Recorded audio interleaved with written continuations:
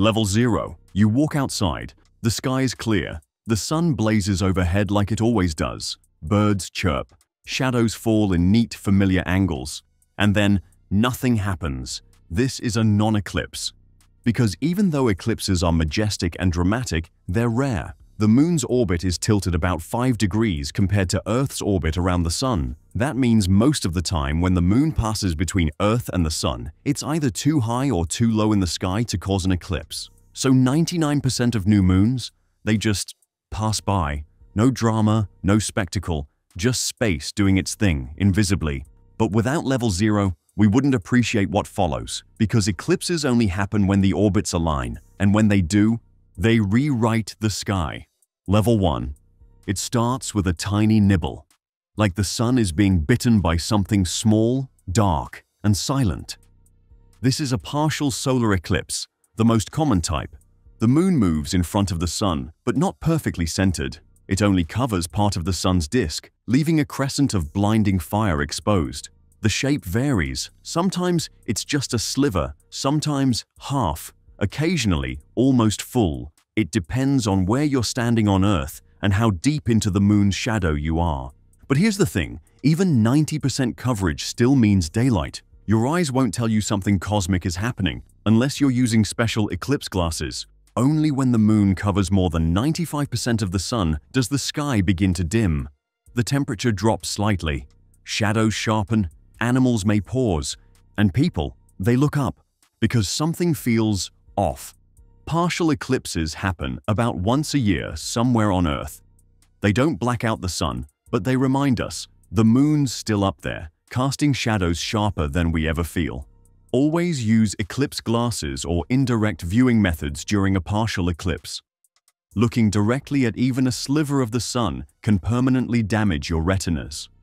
Level 2. The moon doesn't just block the sun, it rings it. This is an annular eclipse a rare phenomenon that creates the unforgettable ring of fire. Here's why. The moon's orbit isn't a perfect circle, it's elliptical, meaning its distance from Earth varies. At its farthest, apogee, the moon appears smaller in the sky. So when a new moon passes directly in front of the sun, but it's too far away to cover it completely, it leaves a thin, fiery halo. That's the annulus, a perfect searing outline of the solar disk. You're standing in the Antumbra, a region where the moon is centered but too small to cause totality. Annular eclipses are stunning but dangerous, because even though the sun looks covered, it's not safe to view without protection. That blazing ring is still intense solar radiation. The 2023 annular eclipse across the US Southwest drew millions of viewers. For just a few minutes, cities plunged into a surreal twilight. Not dark, not bright, but something in between.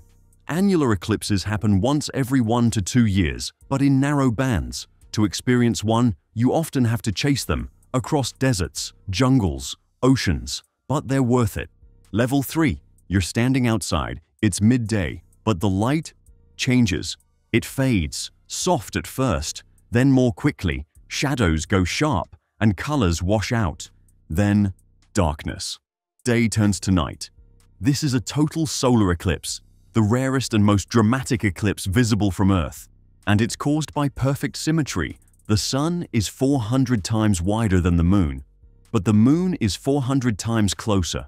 That means from Earth's surface, they appear almost exactly the same size.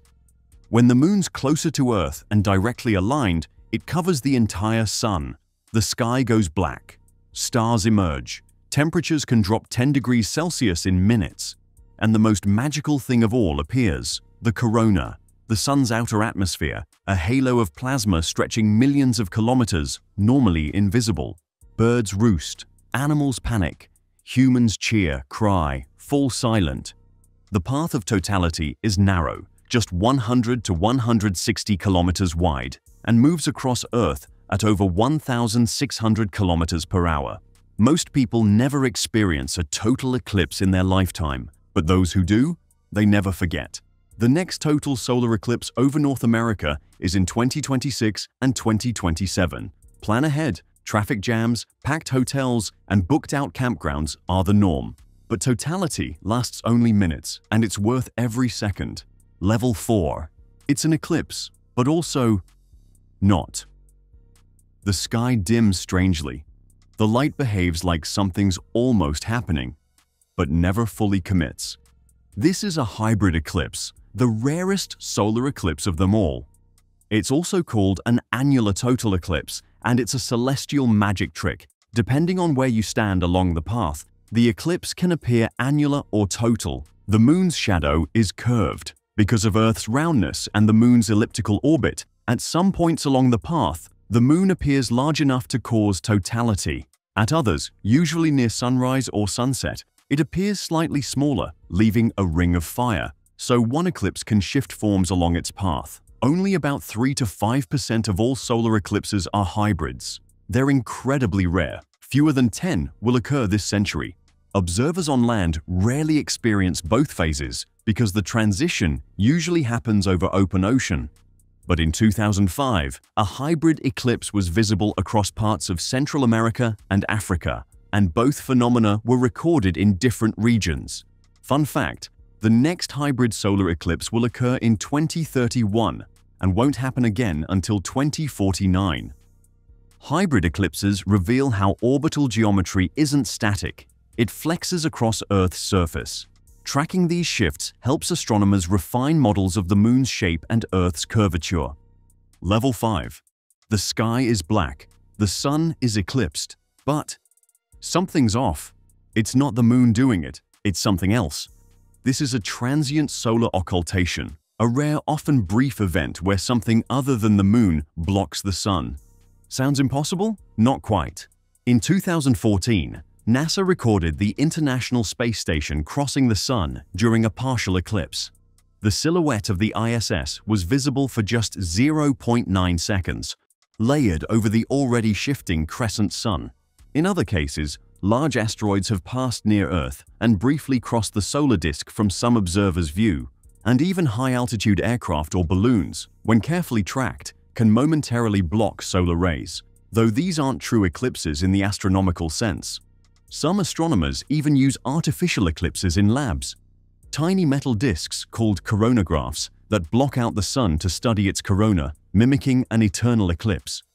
These aren't natural events in the traditional sense, but they reveal something else, how much we crave control over cosmic phenomena.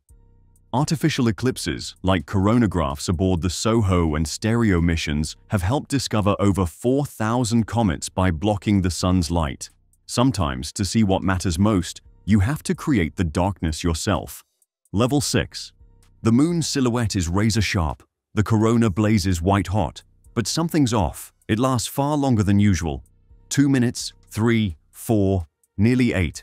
You're watching a long-duration total eclipse, the rarest subtype of the classic total eclipse.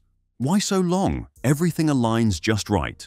The moon is unusually close to Earth, perigee, Earth is near aphelion, farthest from the Sun. The eclipse path crosses near the equator, where Earth's rotation adds extra seconds. The longest total eclipse of the 21st century happened on July 22, 2009, lasting up to 6 minutes and 39 seconds. But theoretically, totality could stretch up to 7 minutes and 32 seconds. After that, geometry says no. These are cosmic coincidences, too much or too little of any factor, and the darkness snaps short. Scientists model these eclipses centuries in advance, valuable for corona studies and solar wind analysis, because when the sun hides for that long, secrets spill. Level 7. You're flying 50,000 feet above Earth. Outside the window, darkness at noon. Not just any eclipse, this is an eclipse from the stratosphere. NASA does this. Tourists can too, if you have the money. Why bother? Because at high altitudes, the atmosphere is thin. No haze, no light pollution, no clouds. It's eclipse viewing in Ultra HD. Better yet, airplanes can chase the eclipse shadow, stretching the duration of totality by flying in sync with it.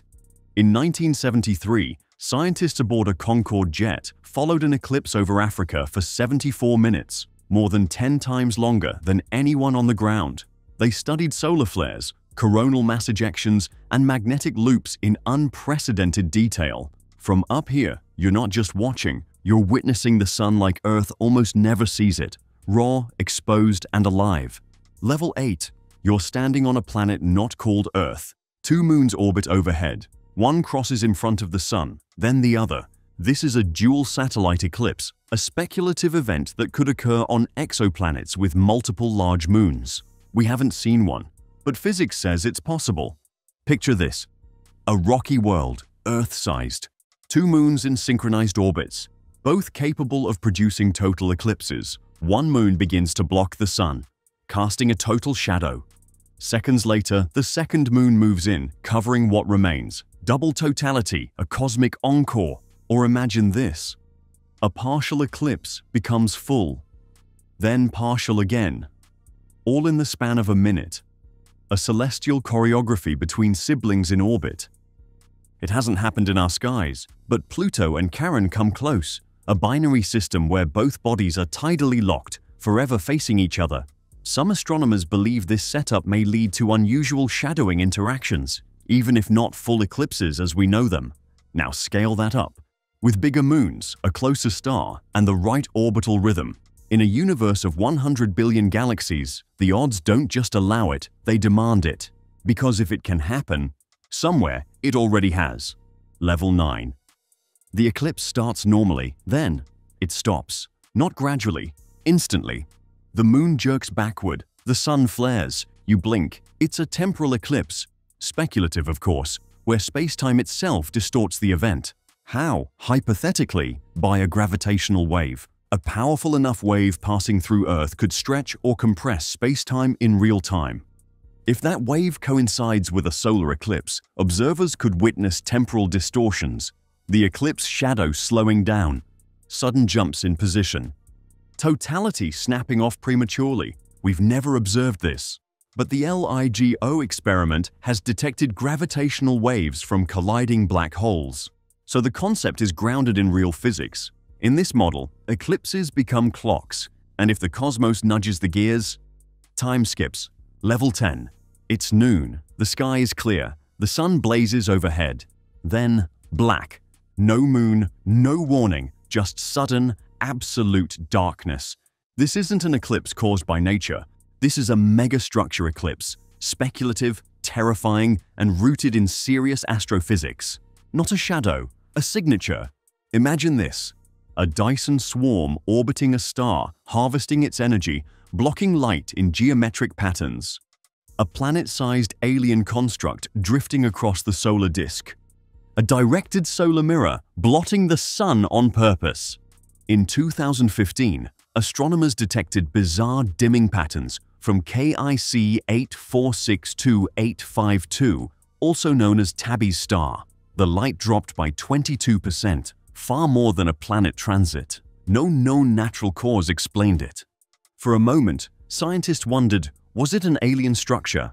We haven't found proof, but the idea didn't die. If you looked up one day and saw the sun vanish with no moon nearby, ask yourself, what did the sun move behind? Or worse, what moved in front of it? Because not all eclipses are made by nature. Some might be made on purpose. Level 11. You check the sky. The forecast is clear, no clouds, no storms, and yet the sun is gone. No flicker, no flare, just absence. No sunlight, no warmth.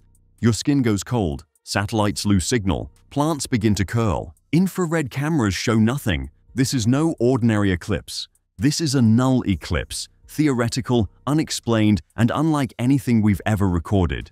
Not caused by the moon, not by any planet, object, or shadow. It's as if the sun itself was erased, not hidden, but folded out of our dimension. One theory, a stellar cloaking device used by hyper-advanced civilizations to hide stars from observation. A Dyson sphere built not to harness light, but to mute it completely. Another, a cosmic rendering error, reality itself skipping a frame, like the universe forgot to draw the sun. Or worse, Something has entered the solar system, something massive, dense, silent, and whatever it is, it doesn't reflect light, it devours it. The null eclipse wouldn't have a corona, no crescent, no diamond ring, just a sky that should shine and doesn't. Not an eclipse, a cosmic redaction. If one day the sun blinked out, no warning, no shadow, what's the first thing you'd do? Drop it in the comments. I want to see how humanity responds when the light goes off. See you in the next video.